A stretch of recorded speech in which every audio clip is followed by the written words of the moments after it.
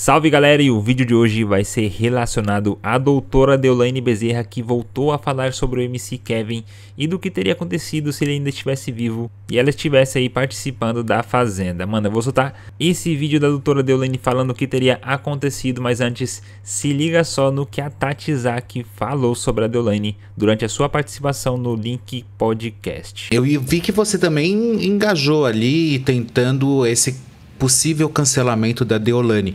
A Deolane, ela tem requintes de maldade, né? Ela é cruel. Ela é cruel e as pessoas falam, ah, mas ela é verdadeira. Eu já falei, concordo, ela é verdadeira mesmo, porque ela tá sendo quem ela é. Só que ela é cruel, ela é machista, ela vai para cima das mulheres, depois quer defender o poder feminino, quer falar que é a favor das mulheres, quer apontar o dedo no cara lá, falar que ele é machista, que ele é tarado. E eu não entendo isso dela, sabe? Ela que faz a lá dentro, fala que vai pegar todo mundo quando sair.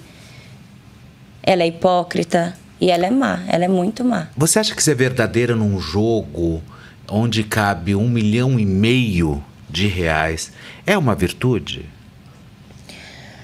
Eu fui verdadeira. É, eu acho que não tem dinheiro no mundo assim que compraria os meus valores e que me faria ser uma pessoa tão má ali dentro. Mas eu acredito que a Deolane é verdadeira. Eu não, eu não acho que ela não seja verdadeira. É a verdade dela, é quem ela é. Agora eu vou deixar para vocês aqui as palavras da doutora Deolane sobre o MC Kevin. Se liga só, tropa. O que? Se ele tá vivo, eu não tava aqui dentro nem a pau. Sério? Se ele, não, nunca. Ele furtava, né? Ele pegava o portão daqui. Ele, vi- ele descia numa rede de helicóptero no meio da, da Eu tenho certeza absoluta E que eu ele ia também, fazer isso. eu Eu também. tenho certeza absoluta Eu que também. ele ia entrar por ali. Ele ia pegar o megafone e passar no helicóptero. Tá chapando, hein, certeza, O quê? No, no dia, eu nunca estaria aqui, nunca. Se ele tivesse vivo. Mesmo se a gente tivesse terminado, eu nunca estaria aqui. Ele ia perturbar demais. Até o povo dizendo, não dá pra você ficar aí dentro, saia, por favor. Que nós não aguentamos esse menino, não.